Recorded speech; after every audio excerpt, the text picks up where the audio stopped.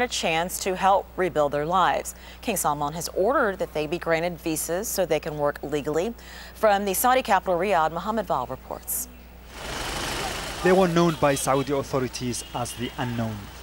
They're mostly unemployed and wanted by immigration police. But the status of these estimated half a million illegal immigrants from Yemen is about to change. The backdrop is the extensive suffering caused by the war in Yemen. In March, a Saudi-led coalition launched a military air campaign against Houthi rebels. The operation was to restore President Abdrabbu Mansur Hadi to power following a Houthi coup in January. Hundreds of civilians have died and thousands have lost their livelihoods and homes. Saudi authorities say up to 30,000 Yemenis arrive in Saudi Arabia every month. Now most of them are fleeing the war. Saudi Arabia says the legalization is a brotherly gesture towards the people of Yemen.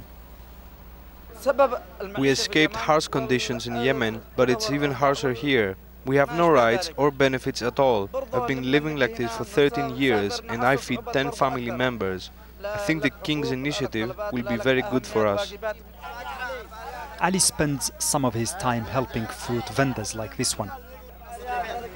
When they don't need him, he wanders the street looking for work. Like Ali, this young man is trying to make a living.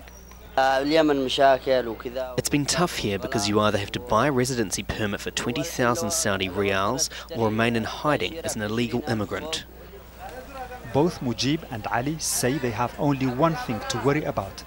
It's the loved ones they left amid the conflict in Yemen. And this is the moment that every Yemeni immigrant here in Saudi Arabia works for. It is when they come here to send the hard-earned fruits of their labor to their families back home. The UN says about 1 million Yemenis work legally in Saudi Arabia, providing up to $1.4 billion in remittances for their families at home.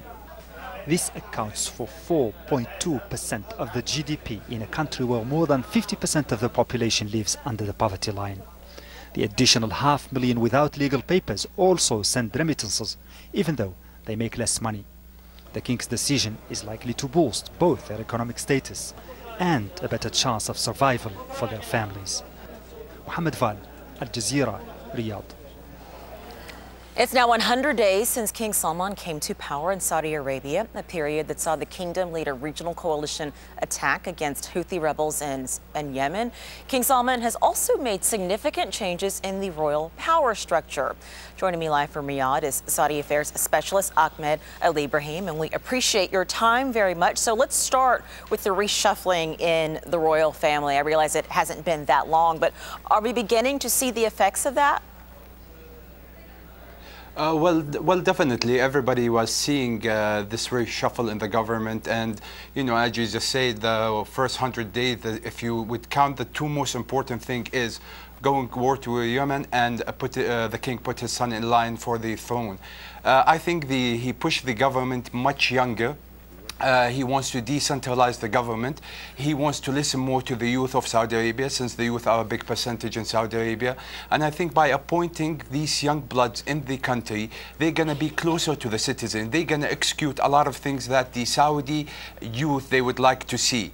Uh, probably in like the first hundred days, there's I mean, you know what what the, what the normal we hear. We would like to see more jobs. We would like, uh, you know, women. They would like to see uh, more uh, freedom uh, in the, you know, making decisions, uh, disengage from the man, you know, custody and all that stuff, and basically become uh, more uh, coping with the first world and uh, you know they showed that they have these capabilities.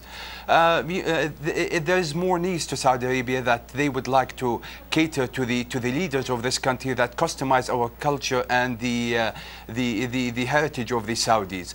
And in the first 100 days of King Salman as you know you know probably there's not too too many points or decision that he's taken but he made a decisive and very strong point. So, you know one of them them is, uh, you know, the Operation Decisive uh, Storm. Let's talk, let's talk more about that. Has that been has that been a successful operation on the part of the Saudis?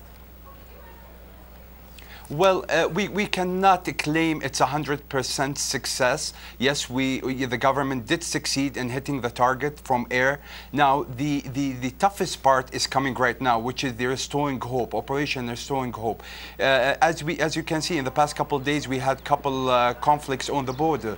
Uh, you need, you, Saudi Arabia needs a lot of help in understanding how they could exit Yemen very right and how they can also, which is a big issue, uh, putting a humanitarian uh, food, medical supply into Yemen. Saudi Arabia does not have experience per se in, in, in, in, in, in, let's say, helping another country to restore their, their country together. Uh, uh, we know the United States uh, of America in Iraq and Afghanistan, they had a huge problem exiting, and that actually came back to their land. So in Saudi Arabia, we would, uh, uh, the government, they are working day to day in order to figure out what is the best solution. It's by putting more money into the tribes in Yemen to, you know, to contain themselves, to Yes, put sir. themselves back into the government, or, or, or they're going to be going on to our ground uh, forces. Yes, as they say, it's always easy to, to start a conflict, not always easy to wrap it up. Uh, Ahmed Al Ibrahim, Saudi Affairs Specialist, thank you very much.